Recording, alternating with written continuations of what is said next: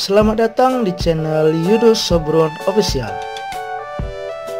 Dalam video ini saya akan berikan informasi mengenai layanan video call terbaru dari Facebook yang bisa digunakan hingga 50 orang.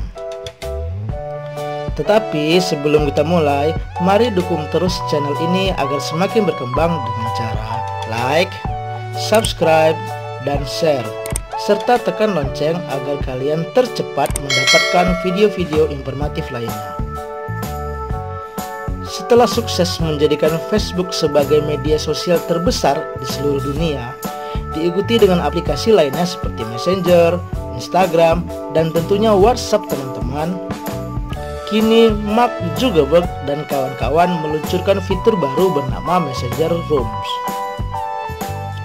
Room sendiri bisa digunakan untuk melakukan video call hingga 50 orang.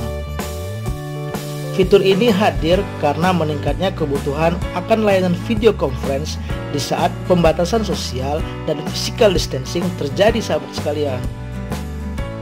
Saat ini, video call melalui WhatsApp sudah dapat digunakan hingga 8 orang. Tetapi untuk jumlah yang lebih besar, Messenger Rooms adalah jawabannya.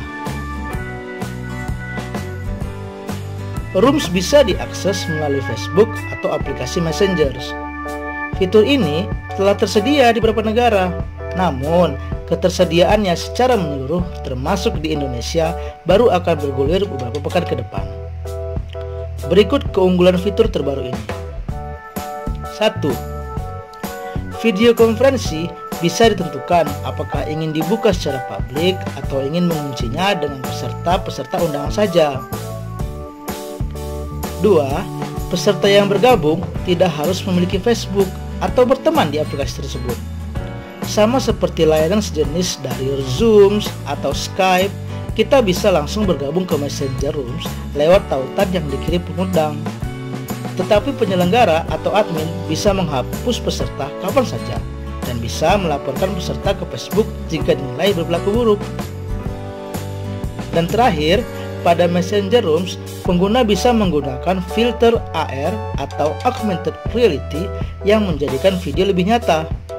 Juga bisa mengganti background video serta memiliki opsi background 360 derajat sehingga menimbulkan efek 3D. Akan tetapi, semua panggilan Rooms tidak terenkripsi secara end-to-end -end seperti WhatsApp.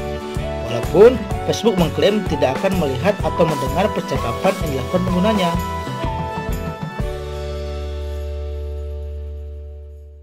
Sudah tidak sabar ingin menggunakan fitur ini. Sembari menunggu hingga layanan ini bisa digunakan secara menyeluruh, sampaikan ke teman-teman kalian informasi ini ya guys. Mari menjadi yang tercepat. Nah, berikut bagaimana cara menggunakan aplikasi tersebut. Terima kasih.